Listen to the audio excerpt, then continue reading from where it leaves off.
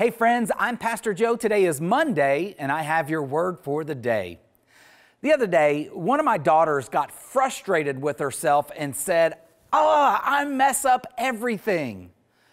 Do you ever feel that way? Do you ever feel like everything you attempt to do fails from work to home life to family?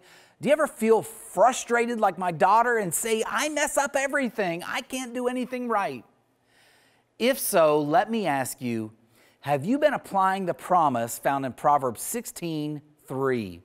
The wisdom of Proverbs says this commit your actions to the Lord, and your plans will succeed. Do you want your plans to succeed? Then commit them to the Lord. Now, in Hebrew, the verb commit literally means to roll.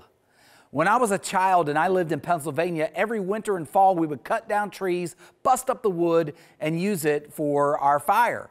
We lived near the bottom of a steep hill, and when we would cut down a tree at the top of the hill, before we would split the wood, we would roll the logs down the hill. From the top, we would push the log, get it rolling, and let gravity do the rest. When you and I roll our plans to God, we are releasing our plans completely and trusting the outcome to God. And when we completely give our plans over to God, we show our dependence on Him. When we commit our work to the Lord, when we roll our work to the Lord, we offer everything we do completely to Him. And then we trust God with the outcome. Whether it is successful in our eyes, man's eyes, or to somebody else, the outcome will be exactly what the Lord wanted to happen, and that is guaranteed to be a success.